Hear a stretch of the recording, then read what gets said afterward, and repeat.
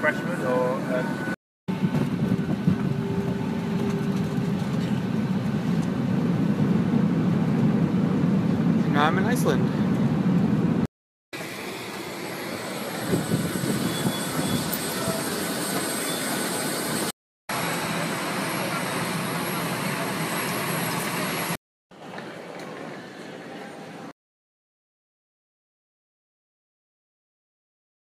I just made a small mistake. I need to buy a SIM card, but the place to do that is on the other side of a one-way door I just went through. So, uh,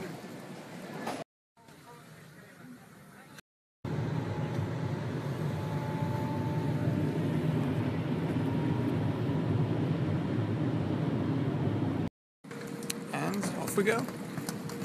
Sun rose. It's pretty nice. Still raining. It's probably going to rain all day. Right there is my Airbnb, but it's a bit too early to check in at this point, so I'm just gonna wander. The problem is, of course, it's early Sunday morning, so everything is closed.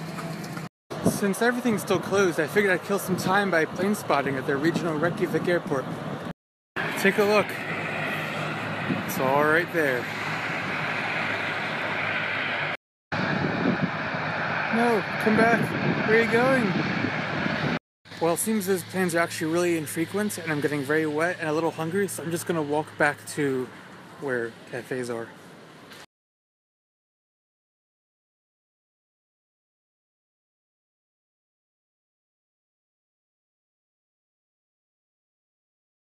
Also, I'm not doing this trip alone. Luke's joining me this evening. That building looks awesome. In the meantime,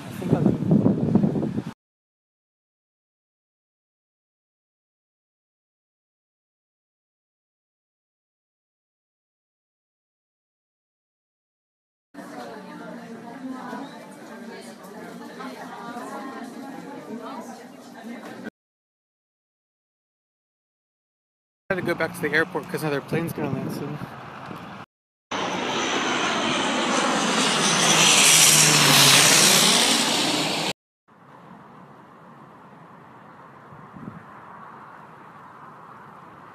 Guess what time it is? No, not that. There we go.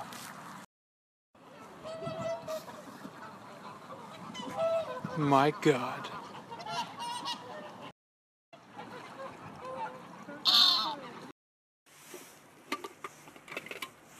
Hey. Right, so I'm really happy the clouds cleared up. This was not visible before. And this building's even prettier close up. Let's go inside. I don't even know what it is. It's resolved. It's a convention center. A really nice one. It's just freezing and wet, and now it's warm. Now it's raining again. I don't get this place.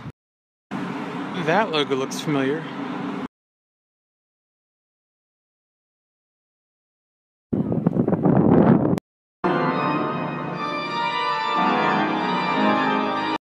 This guy was a master of belief. Get it? Belief. That was terrible and I'm garbage.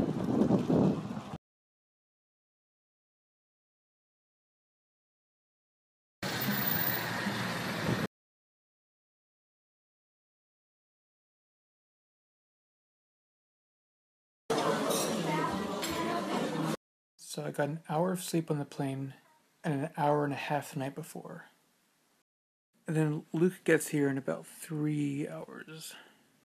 I'm done. No, but actually, I just fell asleep sitting upright for like a minute. It's like the third time today. So, Luke, what was the first thing you ate when you arrived in Iceland? A, a Philly cheesesteak from Subway. Luke, how'd you want me to pay you back? One, two. no, wait.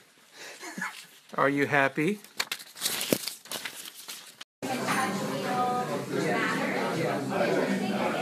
Rule one: you have to Snapchat your food. First Kinder Surprise. These are illegal in the US because of a choking hazard. Basically, we suck. This bag of hell. Hmm. So they're not assembled, and we're very upset about it. What the fuck? this. This is not okay. All right, what have we got? Ta-da.